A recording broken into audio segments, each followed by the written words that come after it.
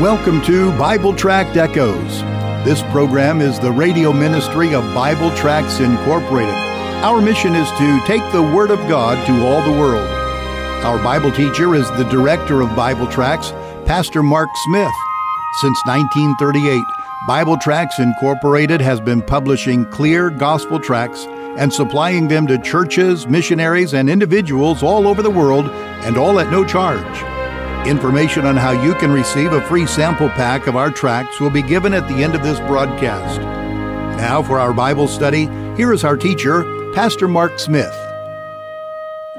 How do you do, my friend? Welcome to the broadcast. Thank you so much for letting us be a part of your day, and thank you for wanting to grow in the grace and knowledge of the Lord Jesus Christ. Now, right now, my Bible is sitting open in front of me. It's open to the book of Ruth and chapter 1. We're doing a study through the book of Ruth.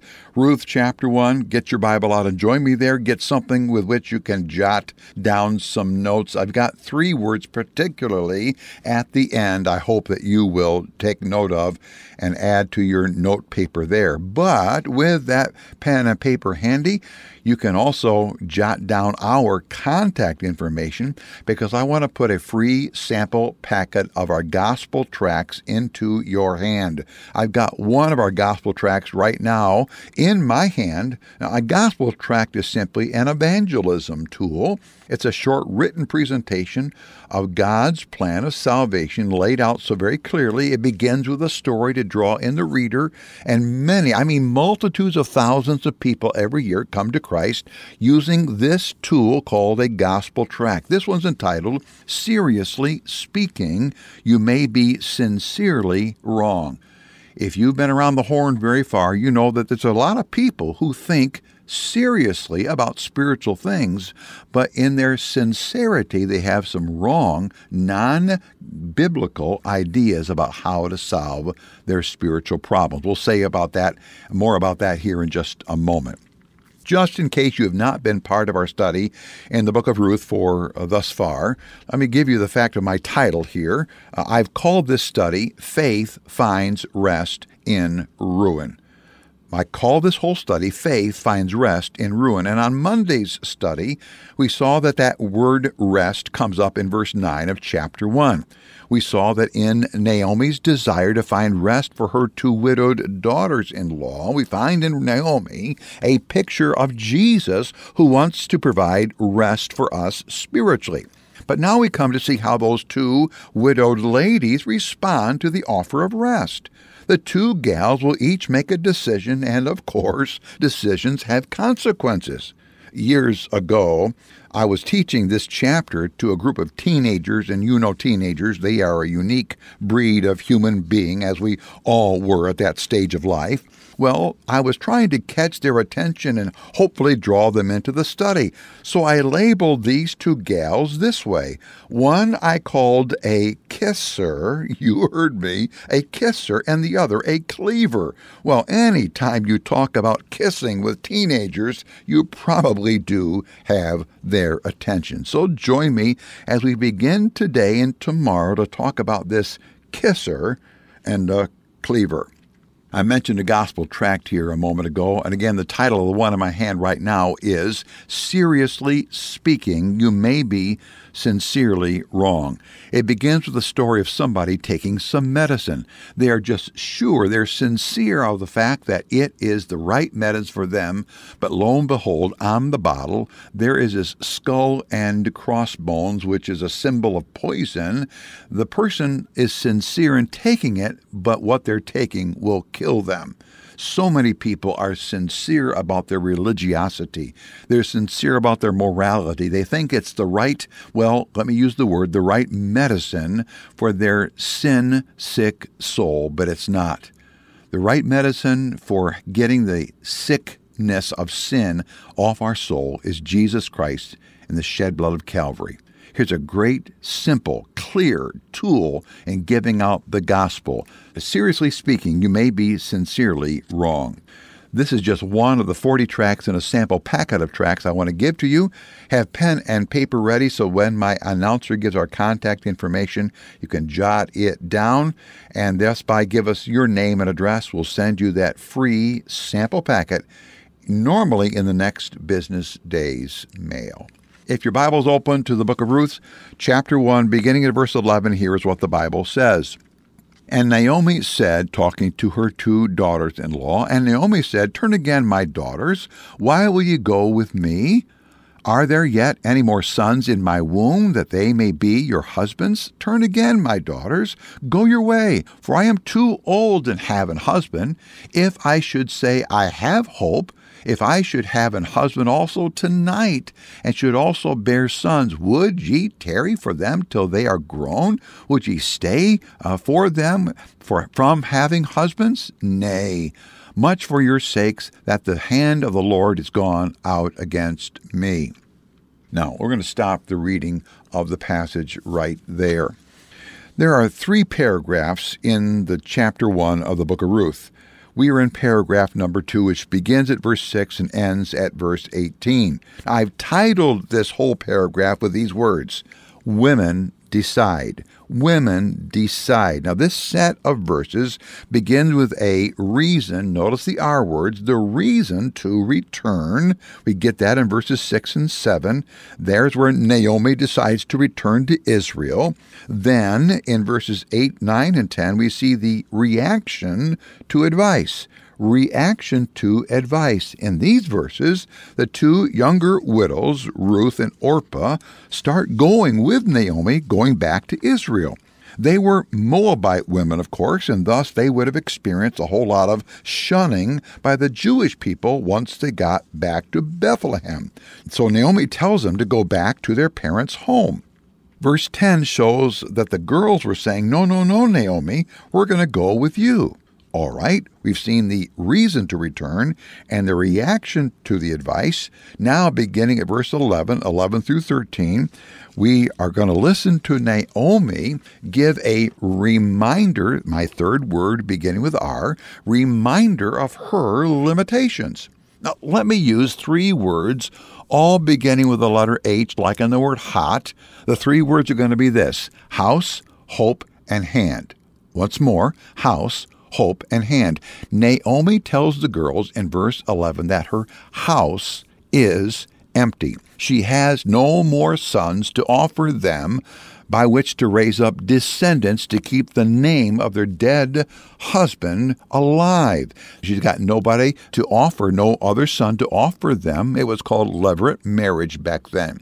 So there's her house is empty. Next in verse 12, Naomi says her hope is empty. She's too old to have any more sons. Even if she were to get married that very day, she couldn't have sons for them. And finally, Naomi says that God's hand is against her. We've got the house, the hope, and the hand. What Naomi is saying is that to stay, if these two gals stay with her, would mean that they would experience the trouble and the discipline from God that she was going to have to continue to deal with. Now, right here, we need to stop and we need to learn a lesson.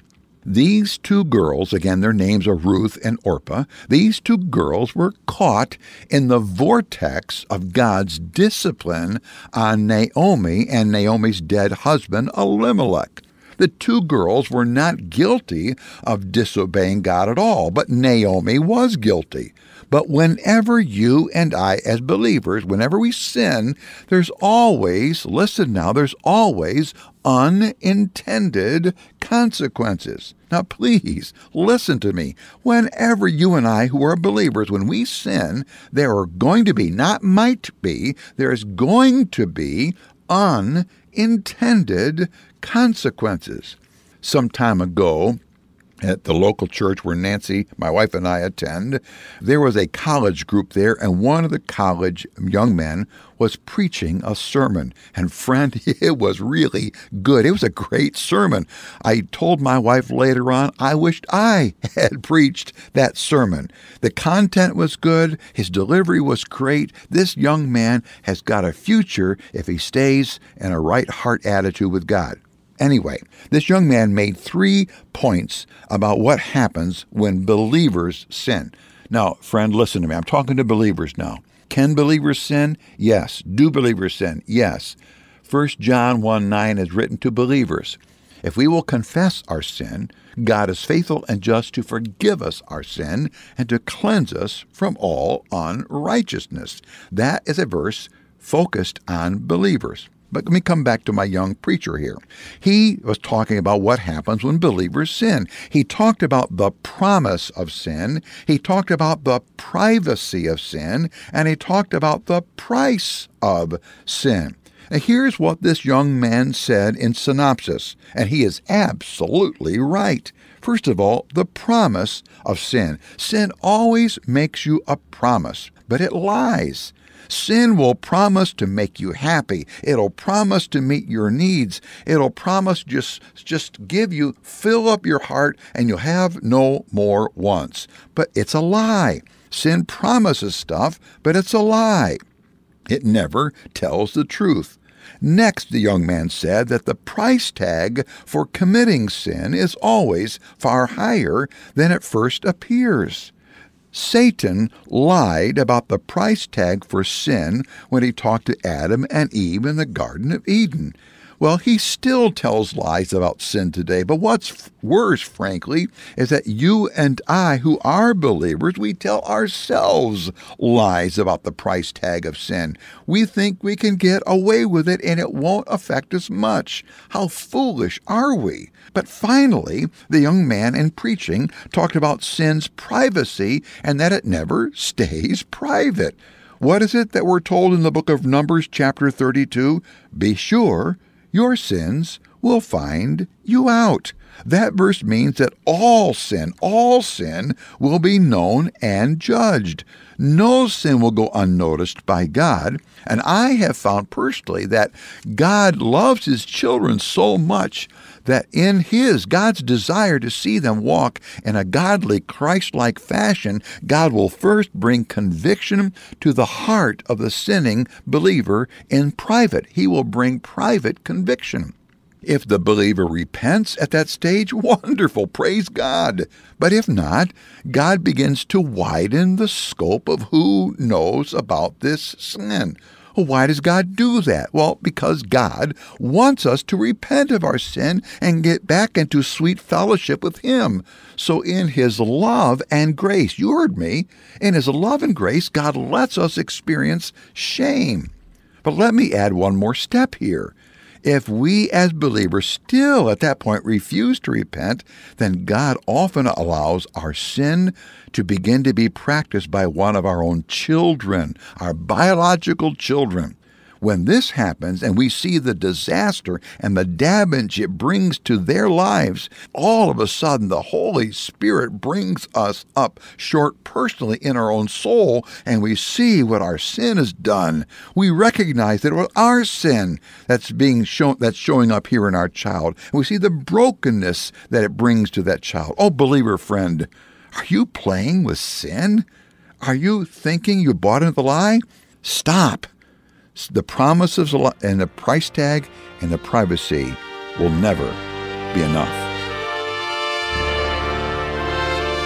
Thank you for joining us today for Bible Tract Echoes. If you would like to receive a free sample packet of our tracts, you can contact us by calling 309 828 6888. Our mailing address is Bible Tracts, P.O. Box 188, Bloomington, Illinois 61702. Again, our phone number is 309 828 6888, and our mailing address is P.O. Box 188, Bloomington, Illinois 61702. You can also contact us through our website. Our web address is BibleTractsInc.org. Remember, the word tracts is spelled T R A C T S. That address is BibleTractsInc.org. May the Lord richly bless you as you serve Him.